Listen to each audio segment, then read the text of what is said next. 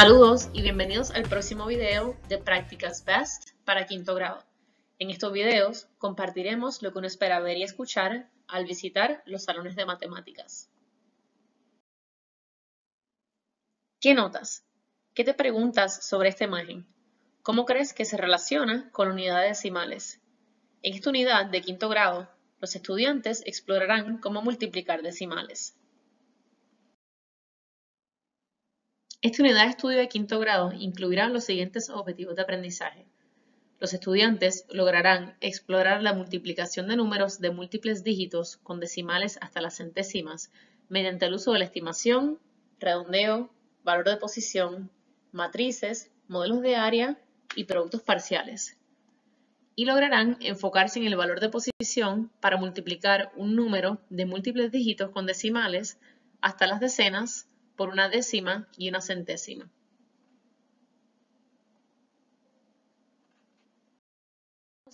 ¿Qué deberíamos ver en el salón de clases para ayudar a los alumnos a alcanzar estos objetivos? Aquí vemos ejemplos de algunas de las exploraciones de STEMscopes. Observe que en todos los ejemplos los estudiantes no solo modelan con fichas u otros objetos concretos, sino que a menudo dibujan una representación y luego la registran utilizando expresiones y ecuaciones. Todo esto forma parte del modelo concreto, representativo y abstracto.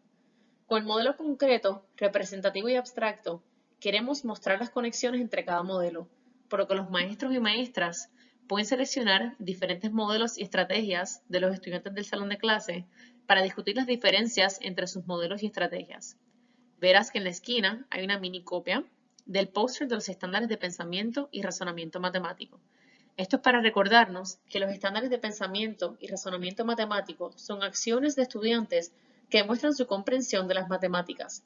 Estas exploraciones de los estudiantes en el salón de clase podrían demostrar el estándar de pensamiento y razonamiento matemático 1, el 2, el 5 y el 7.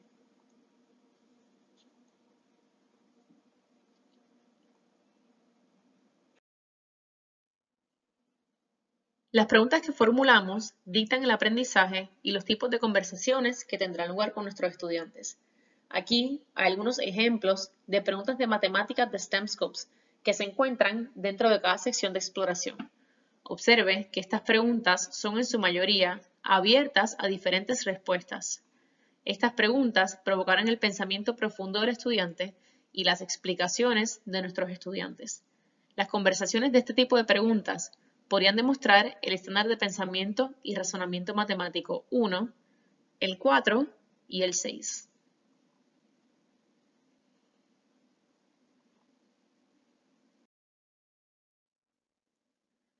A medida que los estudiantes participan en las exploraciones y discuten su aprendizaje, deberíamos escuchar el vocabulario matemático que utilizan tanto el maestro o la maestra como los estudiantes. Aquí hay una lista de algunos de los posibles términos de vocabulario que escucharíamos en esta unidad, como modelo de área, decimal, estimación, lugar de las centésimas, multiplicación, producto parcial, valor de posición, redondear y lugar de las décimas. Esta lista se puede encontrar también en la carta para padres de STEMscopes.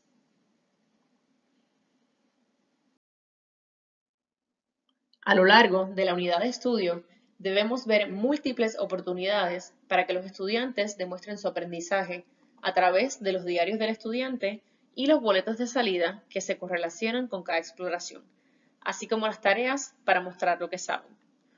Los estudiantes también pueden utilizar los juegos y los constructores de fluidez para practicar y elaborar su comprensión durante la unidad. Tareas de aprendizaje como estas le dan al maestro o la maestra la oportunidad de evaluar informalmente la comprensión de los estudiantes a lo largo de la unidad. Actividades como estas pueden demostrar todos los estándares de pensamiento y razonamiento matemático, con excepción del número 6.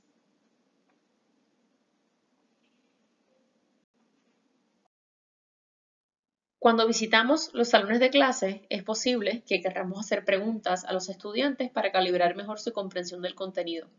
Aquí vemos algunas preguntas que podríamos hacer a los estudiantes para comprender lo que saben.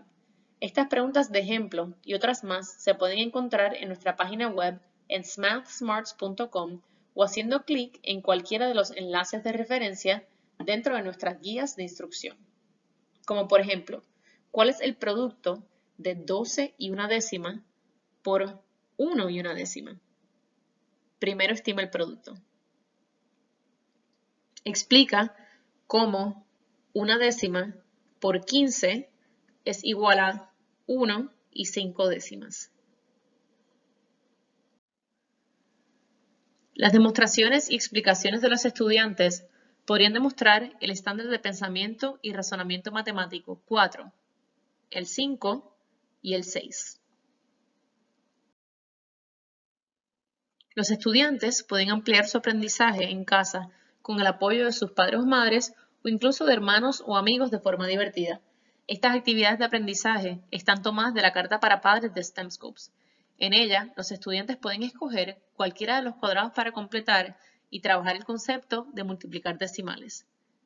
Encontrar las matemáticas en el hogar y en otros lugares fuera de la escuela ayuda a los estudiantes con el estándar de pensamiento y razonamiento matemático 3 y 7.